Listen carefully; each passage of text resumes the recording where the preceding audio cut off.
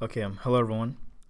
Okay, so um, when we are naming our variables, we want to make sure that we name them with names that are meaningful or that make sense to us.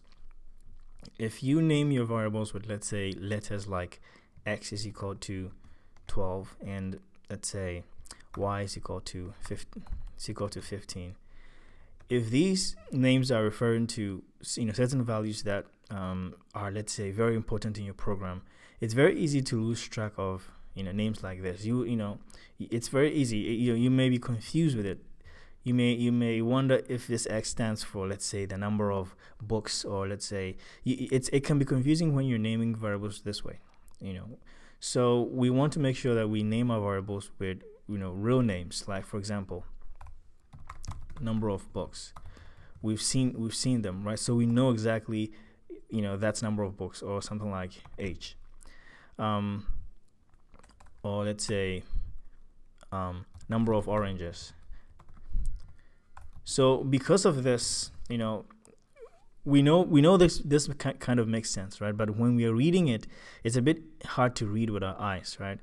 Because you know all the all the all the letters are close together with no spaces and they're all in lowercase. So a convention for creating variables. One way of, uh, for creating variables it's a convention is by using the underscores.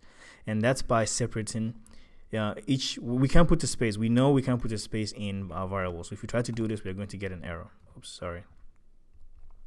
We're going to get an error. So we try to use underscores in place of spaces.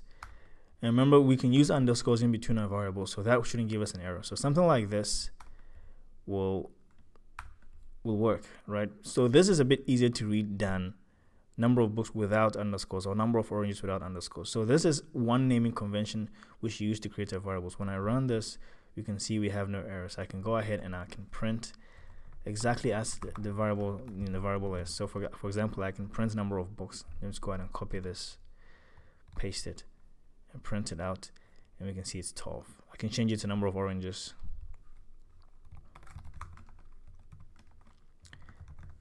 And it should say 15.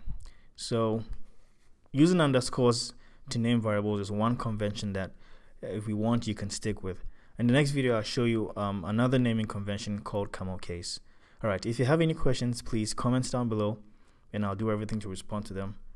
Thank you very much for watching. Take care of yourselves and I'll see you next time with the next video. Okay then, bye bye.